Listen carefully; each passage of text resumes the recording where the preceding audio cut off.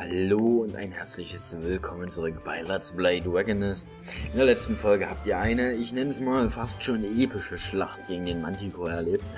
Ich habe leider den Schwierigkeitsgrad etwas zu hoch ausgewählt und somit, ja, habe ich mir den Kampf halt selber sehr, sehr schwer gemacht.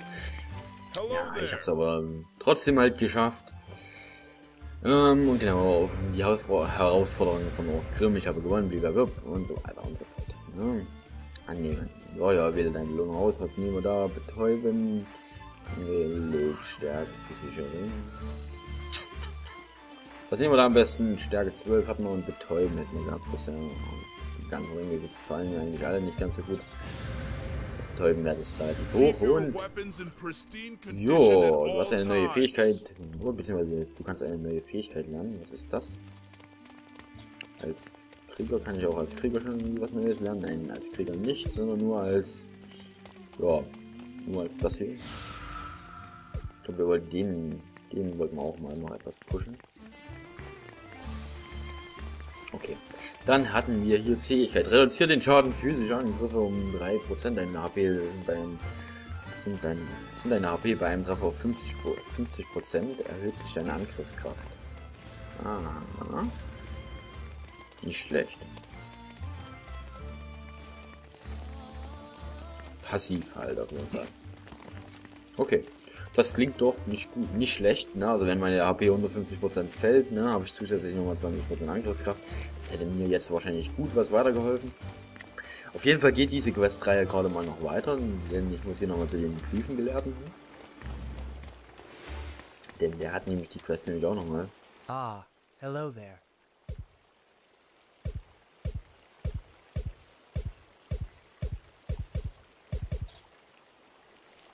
See you next So, time. Meisterkrieger Chandler, nochmal.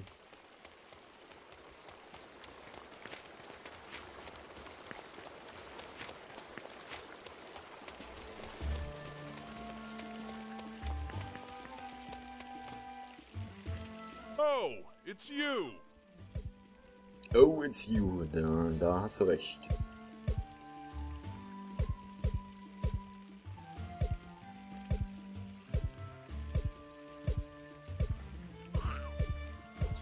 Ganz schöne Wall, Wall of Text hier.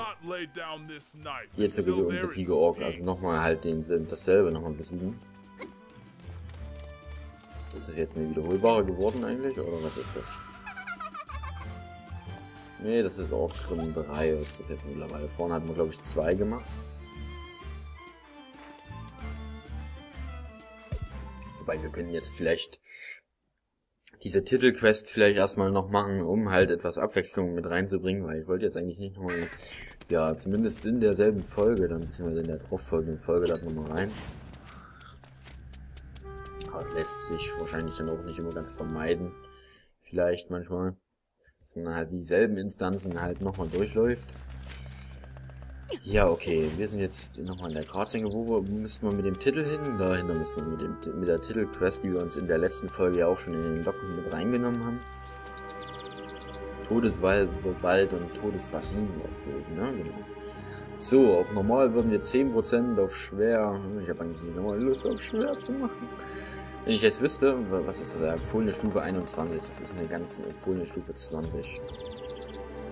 Gut, ich meine, wir sind 22, ne? Gruppengröße auf 2 allerdings.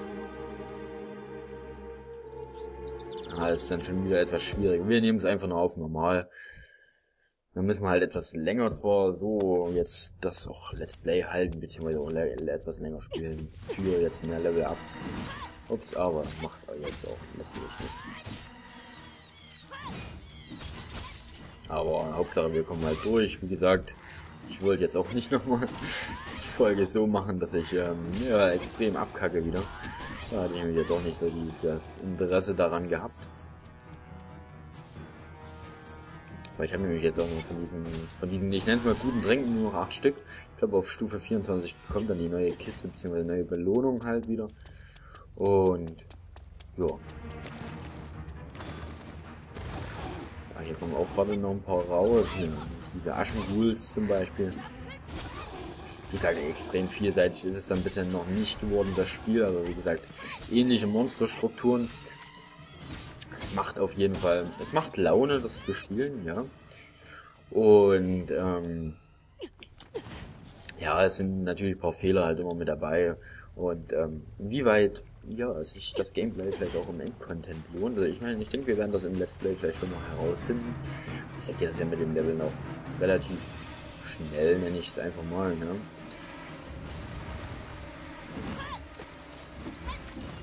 wenn wir jetzt natürlich die letzten paar Folgen dann und auch die nächsten paar Folgen noch wahrscheinlich noch etwas ja, langsamer unterwegs sein werden, da wir halt die normalen Questen machen werden wahrscheinlich.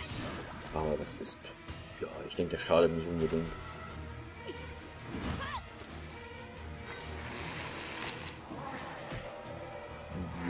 Ah, da hat mich einer eingefroren. Komm raus damit.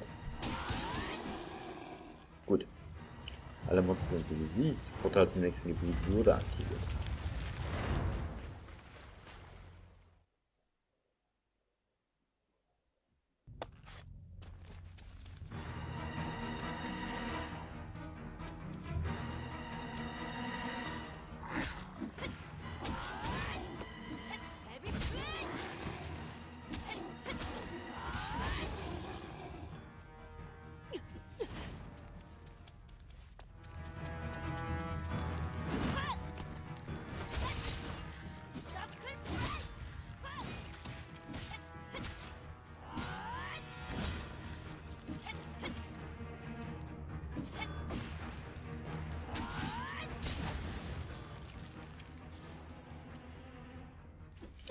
So.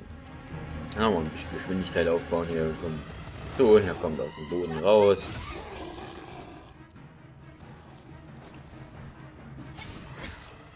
Hier auch. Wollen heute scheinbar alle hier ein bisschen aufs Maul haben.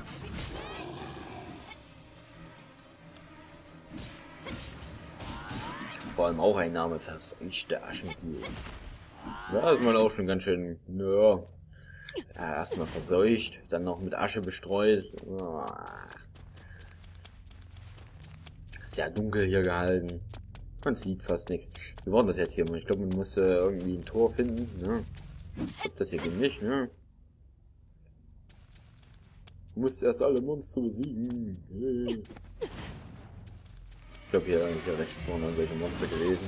Genau, ich dachte, ist auch wieder so linear aufgebaut. Wir waren ja schon mal hier drin gewesen einer der letzten Folgen. Da hatte ich noch gerätselt, natürlich, das ist der letzte Eingang und so weiter, aber wahrscheinlich wird es so linear gehalten, denn das in der Mitte und links. Also wir müssen laufen, wir werden auf jeden Fall links durch das Tor müssen. Und ähm, ja, wahrscheinlich wird es so sein, dass man nur... Ja, ja, genau, nee, das funktioniert nicht, scheint nicht mehr zu funktionieren. So, jetzt sind die in der Mitte wahrscheinlich gespawnt, die Dinger. Es gibt aber extrem wenig Geld jetzt für die Monster hier. Zwei Kupfer die ganze Zeit teilweise nur. Hier sind auf jeden Fall noch Monster. Ja, okay. Das okay, da die erst gespawnt sind halt hier irgendwie. Konnte ich meine, meine AOE-Sprung nicht machen. Beziehungsweise hat mein AOE-Sprung keine Wirkung gezeigt, letztlich. ein abhängiges Zeichen noch bekommen. So, wo mussten wir hier hin? Klappt das jetzt eigentlich? Ah ja doch, das klappt jetzt. Ja, dieses Tor scheint gut zu funktionieren. Ja, dann mach. Ah, Sieger ist alle Monster. Natürlich, was auch sonst.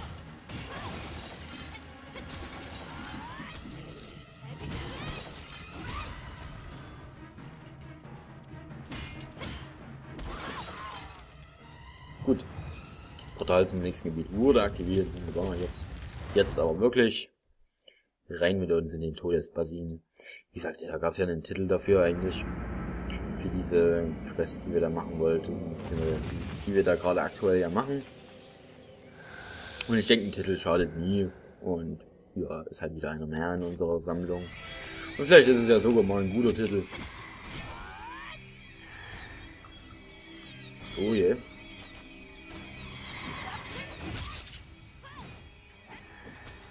Ah, das war der, der hier irgendwie auch mal abgehauen ist. Der Scharlach. Scharlach-Schnitter. Okay.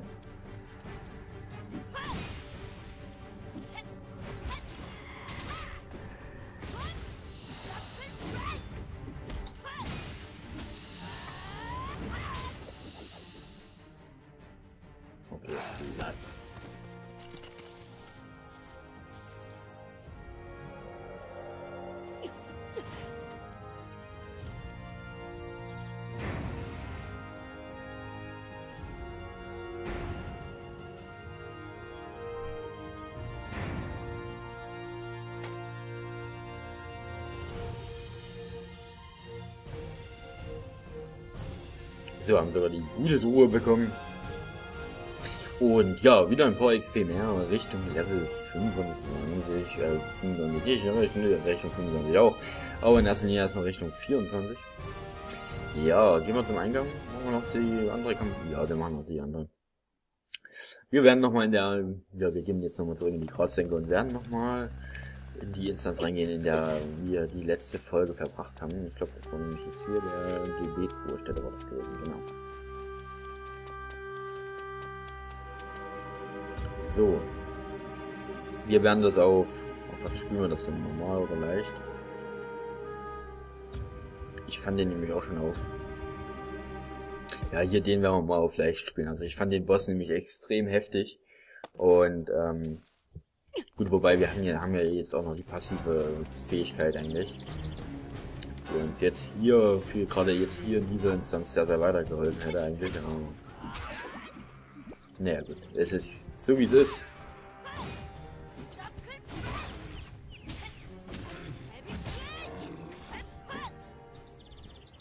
Ah ja, genau, hier können wir es jetzt direkt vielleicht gleich aktivieren.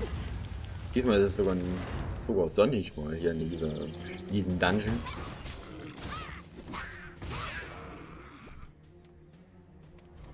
Okay. Was?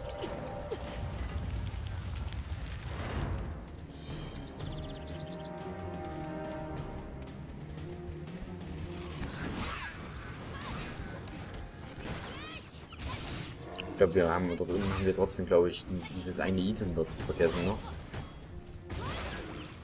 Also sprich, ähm, das eine, den einen Gegenstand halt einfach zu aktivieren, wie der jetzt hier zum Beispiel steht. Und den aktivieren gerade? Nein, den können wir nicht aktivieren, weil der eine noch, weil der andere noch fehlt.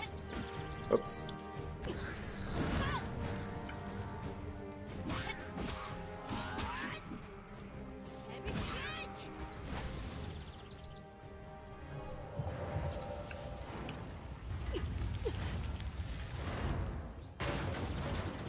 Oh, jetzt habe ich wieder die Milch, Milch getrunken. Oh, mein, mein Held, der schläft. Nicht, nicht ein Nickerchen machen. Los, aufstehen. Los. Monster komm. Monster komm. Hm. Das sieht ihn scheinbar nicht. Monster komm.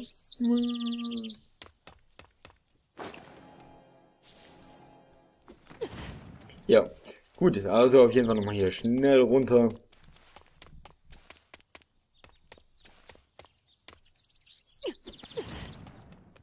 Um somit für den Nachschub noch zu sorgen. Aber nein, Quatsch. Das war hier oben war das gewesen, oder? Und da war das. Genau, hier.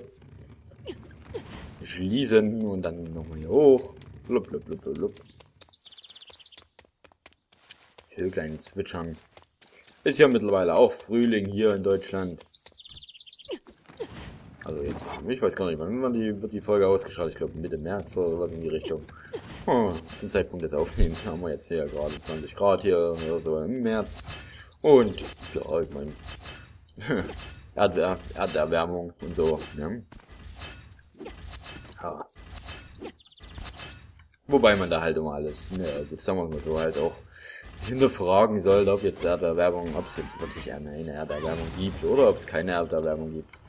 Ach, ja, was erste Schutzziele jetzt gebrochen. Was ist das denn hier?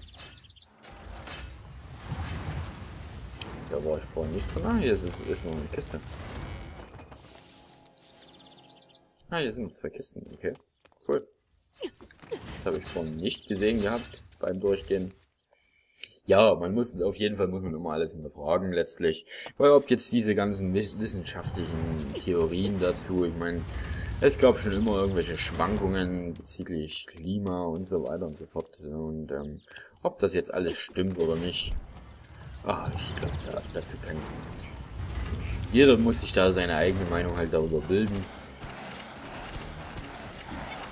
Ich meine, ich bin schon der Meinung, ich meine, es gibt so viele Milliarden Menschen auf dieser, dieser Welt und ähm, es gibt auch diese wirklich extrem vielen und hohen Abgase letztlich und ich denke schon, dass, dass der Mensch da ein Stück weit auf jeden Fall auch mit in die, in die Natur da schon mit eingreift und somit auch ein Stück weit, ähm, ja, mit halt auf jeden Fall die, ja, die Klimaerwärmung halt sozusagen, den Klimawandel, ja, mit verursacht, ähm, aber jeder muss sich dazu selber eine Meinung bilden.